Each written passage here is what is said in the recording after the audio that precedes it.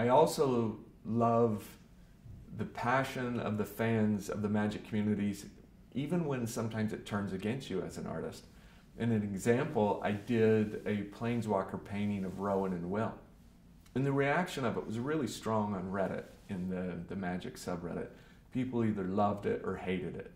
And a lot of people were like, oh, I, you know, I hate this art, and, you know, what was Howard thinking doing this? And I liked it. I liked the way the painting turned out.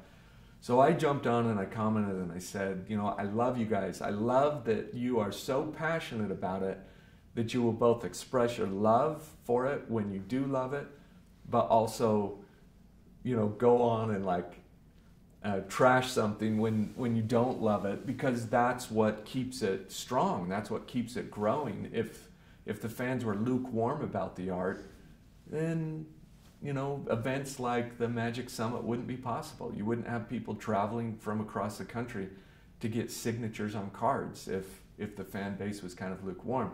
So I recognized that that it's actually a really great thing to have the fans respond strongly to the art on both sides of it.